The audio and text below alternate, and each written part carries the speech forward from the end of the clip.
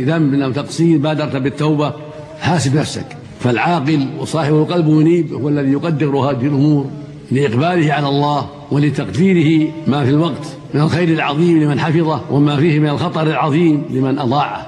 فأحث نفسي وإياكم بعبادة الله بنفع الخلق بإعطاء النفس شيئا من المتعة على وجه مباح وهكذا. فمن أضاع وقته ضاع عليه عمره.